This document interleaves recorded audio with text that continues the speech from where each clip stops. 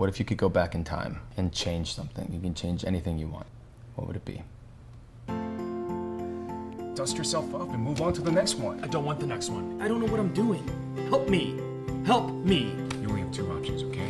One, you win her the old-fashioned way with your words, or I let her be. You kill her boyfriend.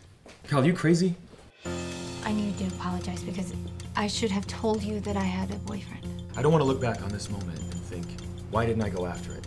Time travel, it is in fact something that may become a reality. Why didn't you continue your research? A man can only handle so much failure. I need you to send me back in time to a point before she meets this guy she's with now who she thinks she's in love with. I can't send you back. Look, these equations, they're still unsolved, so unless you could solve them. Yeah, you know what? Let's just give up, right? We keep trying. That's what we do. That's what we've been doing. We don't give up. We keep trying. I actually envy you. You envy the guy that, uh, guy that's in love with a girl he can't have? I envy the guy who knows what he wants and isn't afraid to go after it.